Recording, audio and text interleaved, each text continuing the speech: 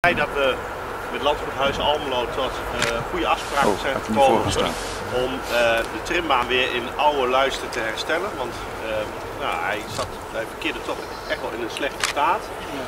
En eh, vanuit de gemeente hebben we met eh, de rentmeester gesproken van Landgoed. En die zei van ja, of het moet vernieuwd gaan worden eh, of eh, hij moet weggehaald worden. Want ja, dat heeft ook allemaal veiligheids Doe eh, heel wel maar door. issues brengt dat met zich mee.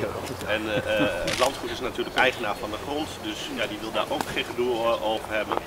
En omdat de gemeente ervoor heeft gekozen om het sporten, het sporten en bewegen in de openbare ruimte eh, te stimuleren, eh, eh, was er ook investeringsruimte om eh, dit, eh, dit te vernieuwen. En daar eh, zijn we heel erg blij mee eh, dat landgoed eh, zijn medewerking daaraan eh, geleend heeft. Dus eh, vanuit het gemeentebestuur veel dank eh, daarvoor, eh, zodat eh, ook de inwoners van Almelo, Bonnebroek en Aardorp hiervan kunnen genieten.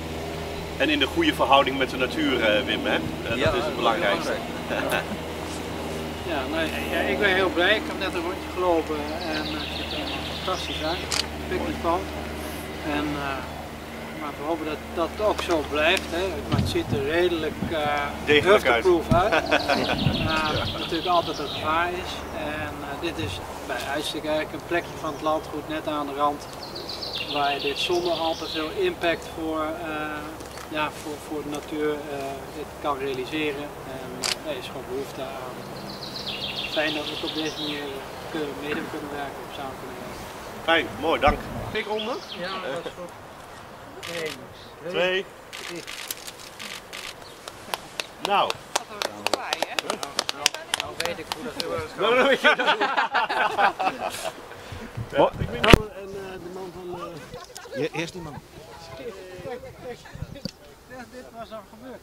Kijk eens.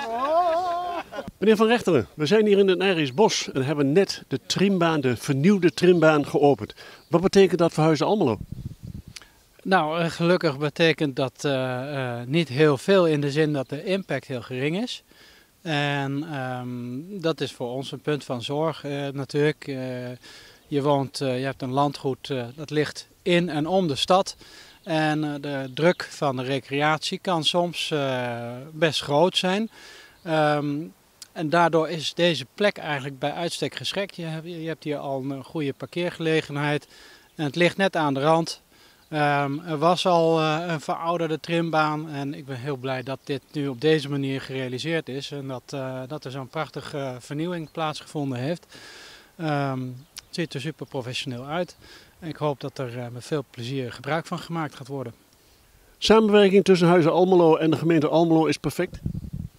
Uh, nou, op dit moment gaat het heel goed. Uh, je weet natuurlijk nooit hoe dat in de toekomst gaat zijn. Uh, soms heb je belangen die niet helemaal met elkaar in overeenstemming zijn. Um, maar ja, dat, dat is nou eenmaal zo. Hè. Een landgoed heeft met name bos, natuur en agricultuur. En dat botst wel eens met de belangen van het stedelijke gebied daaromheen. Dus ja. Maar in principe het gaat erom hoe je het samen oplost. En tot op nu toe, of tot op heden, is dat altijd, en in het verleden ook met mijn vader, is dat altijd eigenlijk een hele goede band geweest. Dus ik hoop dat we kunnen voortzetten. Bye.